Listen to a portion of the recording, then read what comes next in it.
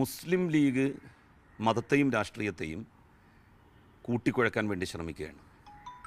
ഇത് R S എസും B J പിയും എന്താണോ ചെയ്യുന്നത് അതിന്റെ ഒരു മുസ്ലിം വേർഷനായിട്ടേ നമുക്ക് കാണാൻ വേണ്ടി കഴിയുകയുള്ളൂ. ഞങ്ങളോട് ഇടഞ്ഞു നിന്നാൽ പള്ളികളിൽ നിന്ന് മദ്രസകളിൽ നിന്ന് പോകേണ്ടി വരും എന്ന് പറയുന്നതിന്റെ അർത്ഥം മുസ്ലിം ലീഗ് രാഷ്ട്രീയം കേവലം രാഷ്ട്രീയ പ്രവർത്തനത്തിൽ ഒതുങ്ങി നിൽക്കുന്നതല്ല. മതമേഖലയിലേക്ക് കൂടി ഞങ്ങൾ ഞങ്ങളുടെ പ്രവർത്തന രീതി അല്ലെങ്കിൽ പ്രവർത്തനത്തിന്റെ വ്യാപ്തി വർദ്ധിപ്പിച്ചിരിക്കുന്നു. അതുകൊണ്ട് എല്ലാവരും ഇനി ഞങ്ങൾക്ക് കീഴൊതുങ്ങി നിൽക്കണം. സത്യത്തിൽ രാഷ്ട്രീയ നേതാക്കന്മാർ ഖാലി സ്ഥാനം അലങ്കരിക്കുന്നത് പോലും തെറ്റായ ചില സന്ദേശങ്ങൾ ഭാവിയിൽ നൽകും. മുൻകാലങ്ങളിലൊന്നും അതൊരു വലിയ പ്രശ്നമായിരുന്നില്ല.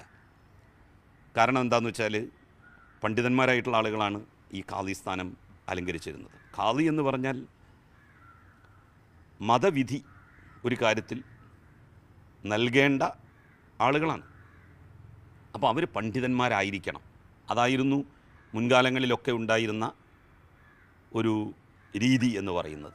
ഇപ്പോൾ ഷിഹാബ് തങ്ങളായാലും ഹൈദർലി ഷിഹാബ് തങ്ങളായാലും ഉമർലി ഷിഹാബ് തങ്ങളായാലും എല്ലാം തന്നെ അവരെല്ലാം തന്നെ പണ്ഡിതന്മാരായിരുന്നു. പക്ഷേ എന്നാൽ പുതിയ പുതിയ കാളിമാരായിട്ട് വരുന്നവരിൽ പലരും മതവിദ്യാഭ്യാസം നേടിയിട്ടുള്ളവരല്ല.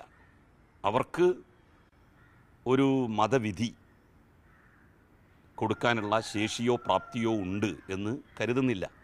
ഇപ്പം ലീഗ് നേതാക്കന്മാരായി എന്നുള്ളത് കൊണ്ട് മാത്രം കാലി സ്ഥാനത്ത് വരുന്നത് ശരിയായിട്ടുള്ള ഒരു കാര്യമല്ല. അതിനെക്കുറിച്ച് അവരാണ് ചിന്തിക്കേണ്ടത്. ഇപ്പം ഞാൻ ഒരു പോസ്റ്റിലേക്ക് പറ്റുമോ പറ്റൂലേ എന്ന് തീരുമാനമെടുക്കേണ്ടത് ഞാനാണ്. എന്നെ ഏതെങ്കിലും മതപരമായ സ്പിരിച്വൽ ആയിട്ടുള്ള ഒരു കർമ്മം ചെയ്യാൻ ഏൽപ്പിച്ചാൽ ഞാൻ ഒരിക്കലും അത് ഏറ്റെടുക്കില്ല. കാരണം അതിന് I'm not fit for that ഞാൻ അതിന് യോഗ്യനല്ല. ആ ഒരു വിചാരം അവരവർക്കാണ്. ഇത് ഏറ്റെടുക്കുന്ന ആളുകൾക്കാണ് വേണ്ടത്. അപ്പോൾ കാളി സ്ഥാനം മുസ്ലിം ലീഗിന്റെ നേതാക്കന്മാരായി എന്നുള്ളത് കൊണ്ട് മാത്രം ലഭിക്കുന്നത് നിരസിച്ചുകൊണ്ട് മാതൃക കാണിക്കാനാണ്.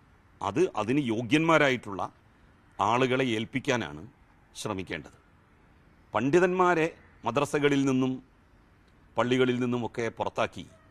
ജഫ്രി തങ്ങൾ പറഞ്ഞതുപോലെ പിന്നെ മണ്ടന്മാരെയാണോ അവർ ആ സ്ഥാനത്ത് പ്രതിഷ്ഠിക്കാൻ വേണ്ടി ആക്കാൻ വേണ്ടി ഉദ്ദേശിക്കുന്നത്?